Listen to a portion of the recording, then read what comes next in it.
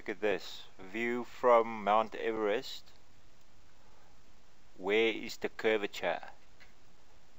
No curvature of Earth.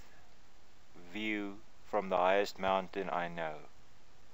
No curvature. Look at that.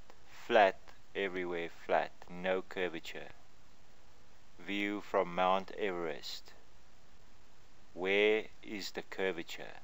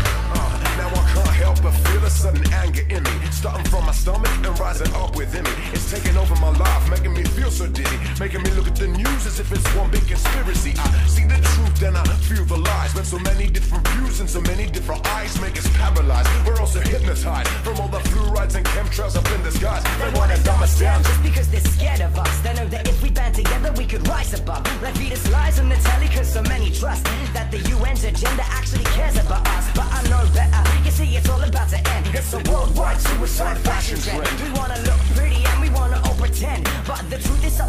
Nobody can comprehend. That's right.